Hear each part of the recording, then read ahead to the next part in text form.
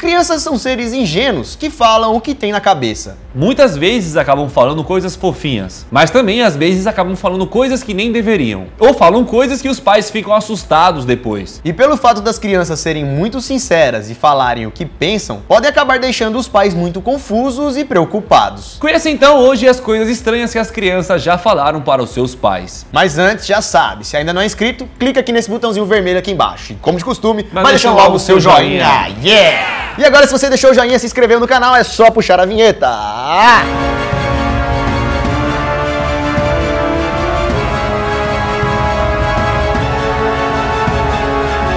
Fala galera, beleza? Eu sou o Lucas Marques. Opa galera, eu sou o Daniel Molo. E sem muita enrolação, vamos começar. Irmã mais velha. Uma garota de 4 anos era filha única, mas mesmo assim ficava conversando com alguém pela casa. Esse alguém nada mais era do que algo imaginário, algum amigo que a criança conversava constantemente. Um dia sua mãe se interessou com quem a criança conversava e perguntou para ela quem era esse amiguinho imaginário que ela tinha. Então a garota de 4 anos disse para sua mãe que aquela pessoa que ela conversava todos os dias nada mais era do que a sua irmã mais velha. Nessa hora a mãe acabou entrando em choque, porque a garotinha de 4 anos não sabia que antes de nascer, sua mãe tinha sofrido um aborto espontâneo e perdeu o bebê que estava esperando, uma suposta irmã mais velha. E como já falamos, a criança tinha 4 anos. A mãe e ninguém tinha contado para ela o que tinha acontecido. Então, como que ela estava conversando com ninguém e disse que era a sua irmã mais velha? Estranho, né? Música desconhecida. Uma criança de 3 anos estava pintando um desenho na sala, enquanto isso cantarolava baixinho. Sua mãe então entrou na sala e parou para ouvir o que o garoto estava cantando. E a mãe percebeu que aquela música que o garoto estava cantando era nova para ela, ela nunca tinha ouvido aquela canção. Ela então decidiu perguntar para o filho que música era aquela, e o garoto respondeu: Ah, mãe, essa música que eu estou cantando foi cantada por uma senhora que aparece no meu quarto e cantou para mim um dia. A mãe nessa hora ficou perplexa e falou: Como assim? Uma senhora ensinou a música pro meu filho que vai pro quarto. What the fuck? A mãe ficou com medo e não entendeu como a criança de 3 anos sabia aquela música, sendo que ele não teve contato com ninguém para ensinar para ele, a não ser que foi o espírito daquela senhora. Sonâmbulo. Uma criança estava tendo um ataque de sonambulismo. Com isso, a mãe, para ajudar o garoto, tentou convencer ele a voltar a dormir, a voltar para sua cama. Mas o garoto que ainda estava dormindo respondeu para a mãe: Mãe, eu até iria, mas o diabo está atrás de você. Se o Pipo falasse isso pra tu, Ia benzer ele, né? Fazer uma tem oração. que benzer você, você que tá com o diabo, o diabo tá atrás de tu, não é dele? Tá repreendido em nome de Jesus, cara. Menino diabólico. Em um dia normal, uma mãe e seu filho de mais ou menos 5 anos estavam passeando num shopping. Todas as pessoas que passavam pelo garoto, ele dava um oi. Falava, oi? Isso é uma coisa normal que as crianças fazem. Mas dentre várias pessoas que estavam passando, teve uma que ele olhou e falou algo diferente. A criança olhou para o homem, apontou e disse: Você vai morrer. E depois então de soltar essa frase assustadora, ele voltou a dizer oi pra todo mundo. Tanto a mãe quanto o homem que ouviu essa frase dita pela criança ficaram sem entender nada. E até nós. Por que, que ele falou isso pro cara, mano? Oi, você vai morrer. Nossa, eu ia ficar cabreiro, velho. Fantasmas.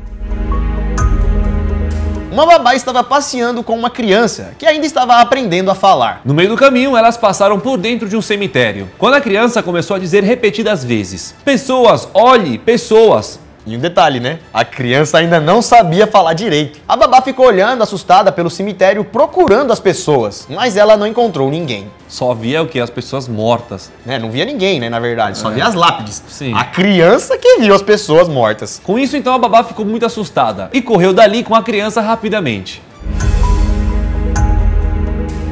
O homem do guarda-roupa.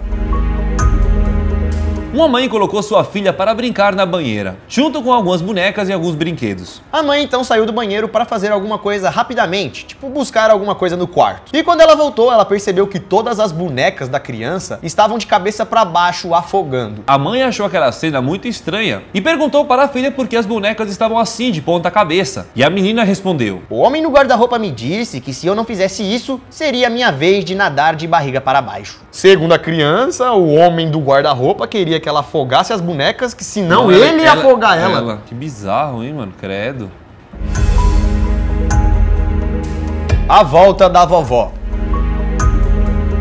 Uma garotinha chamada Hayley nasceu exatamente dois meses depois que a sua bisavó faleceu. E um belo dia, quando ainda Hayley era pequena, acordou dizendo para sua família que naquele dia era o seu aniversário de 95 anos. E na época a garota não tinha nem 5, hein? Os pais e as irmãs da garota não entenderam muito bem o que estava acontecendo e tentaram explicar pra garota que ela estava enganada, né? Você não tem essa idade, hoje não é seu aniversário. Mas nessa hora a criança começou a chorar, dizendo que seus pais estavam enganados e que ela não era a Hayley. O nome dela real era Irene. E Irene, galera, era o nome da bisavó da criança. A bisavó que ela nem conheceu. Ela ficou o dia inteiro insistindo que ela era a bisavó Irene, mesmo sem ela ter conhecido a bisavó ou ouvido falar. E aí no dia seguinte, depois dela ter afirmado que era a avó, a criança acordou e não lembrava de absolutamente nada, como se tudo aquilo nunca tivesse acontecido. E aí, qual a explicação para isso? Criança paranormal. Uma mãe tinha uma consulta médica e deixou sua filha com a avó. Então a criança e a avó ficaram juntas ali durante a manhã. Em um determinado momento, a criança disse a seguinte frase para a avó: Ah não, vovó, mamãe não vai mais voltar hoje. Ela sofreu um acidente muito, muito ruim. Ela não pode vir nos buscar. A avó na hora ficou assustada, até deu um tapinha na cabeça da criança e falou: Não fala uma besteira dessa não, menina. Porém, poucos minutos depois, elas receberam uma ligação, dizendo que naquele momento a mãe tinha sofrido um acidente, que estava em estado grave. Nesse momento, galera, ninguém da família ainda havia sido notificado, mas a criança já sabia disso de alguma forma. A pergunta é: como ela sabia disso? Amiga Lisa. Uma mulher estava grávida quando perdeu a sua melhor amiga, que se chamava Lisa. Essa mulher grávida e sua amiga Lisa eram amigas inseparáveis, tipo melhores amigas. Mas por causa do destino, as duas amigas foram separadas. Então, quando a filha da mulher grávida estava com 3 anos de idade e a criança estava sozinha em seu quarto, conversando e rindo baixinho, sozinha enquanto brincava em um canto. Ao entrar no quarto, sua mãe percebeu que a criança estava ali falando sozinha, e ela até achou que ela estava brincando ou algo do tipo. Então ela perguntou: "Ei, filha, com quem você está conversando?" E a menina menina respondeu a seguinte frase: Mãe, a tia Liz está fazendo caretas e conversando comigo. Na hora a mãe ficou espantada, com medo, mas ao mesmo tempo ficou emocionada com aquilo, pois de alguma forma sua amiga estava ali, naquele momento. Pelo menos na cabeça da criança. Namorado fantasma.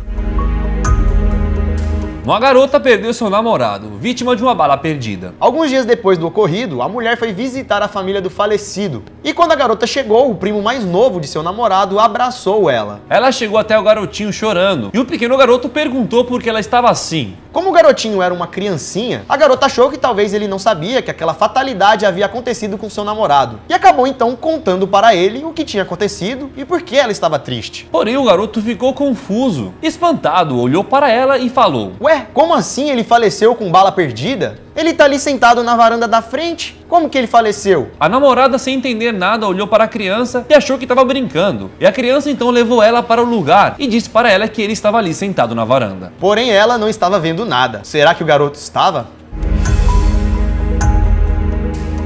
Parto natural. Uma mulher estava grávida de 7 meses. E aí seu sobrinho perguntou para ela se realmente havia um bebê ali dentro. A mulher, com toda a calma do mundo, respondeu que sim. É claro, aqui dentro vai nascer um lindo bebê. Só que o garoto não ficou tão contente com a resposta e foi até a cozinha dizendo a seguinte frase: Não, nós precisamos tirar ele daí. Vou ali pegar uma faca. Você é louco? Como assim, Dá um criança? tapa na cabeça dessa criança, Não, mano. criança, não é assim não, Luca. Ele tá preso, né? Sai, bebê, respira. É tipo, tem uma criança ali dentro mesmo? Tem. Não, Meu, mas- sacanagem, hein? Não, mas eu acho que não foi assim não, mano. Acho que foi tipo, tem uma criança aí? Não vai ter, não. Maestro.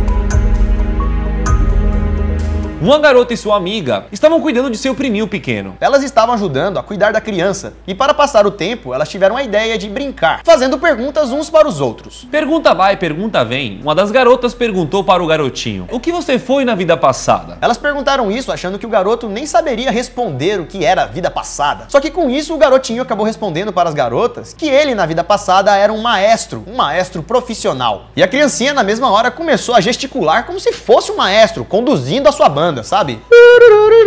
Até aí tudo bem, pode ser uma brincadeira de uma criança, maestro fazem isso. Só que na hora as duas garotas ficaram de boca aberta, sabe por quê? Porque o garoto era cego de nascença. Logo ele nunca viu uma orquestra, muito menos um maestro, como o maestro faria. Mesmo sendo cego, ele pode ter ouvido falar da profissão do maestro, mas como ele sabia que o maestro mexia exatamente assim? Se ele disse para as garotas que na outra vida ele foi um maestro, é porque ele sabe de fato como é um maestro. E aí, o que você acha? Será que ele realmente foi um maestro na outra vida? Deixa aqui nos comentários o que você acha. Bom, galera, e esse foi o vídeo de hoje. Esperamos que vocês tenham gostado. E se gostou, não saia daqui sem deixar o seu joinha aqui embaixo. Se inscreva no canal se não é inscrito, faça parte dessa família e ajuda a gente a chegar a 25 milhões. É metade do caminho até os 50, mas nosso rumo também é a placa de Rubi. Uma interrogação, uma Bonitão, interrogação galera. bonitão. Então já clica aqui embaixo no se inscrever para ajudar a gente. Não se esqueça também de compartilhar esse vídeo para alguém que você acha que gostaria de assistir. Chega pro seu crush e escreve assim: "Eu adoro você", sabia? Aí a pessoa vai achar que você tá falando é dela, mas aí ela fala assim: "Ah, eu também te adoro". Aí você vai lá e lança o link e fala assim: "Não, tô falando do canal Você Sabia, rapaz, ó aqui, ó". Mas aí você quebrou um gelo, né? Depois você convida Aí pra depois sair, tô né? brincando, Tô eu nossa, gosto de né? você mesmo. Ou não, só trola mesmo e fala, translei. Compartilha então, galera, pra alguém. Ficamos por aqui então, até o próximo vídeo, até amanhã. Se você não viu o vídeo de ontem, assista, tem outros vídeos aqui no canal. Se não, você não viu, Escolhe mano, aí o que, aí. que te agradar, demorou? Tá bom. E se tiver rede social, siga a gente lá, Lucas Marques Danimolo, você sabia vídeos, demorou? Ficamos por aqui, até amanhã. Estudo pessoal. É nóis, valeu.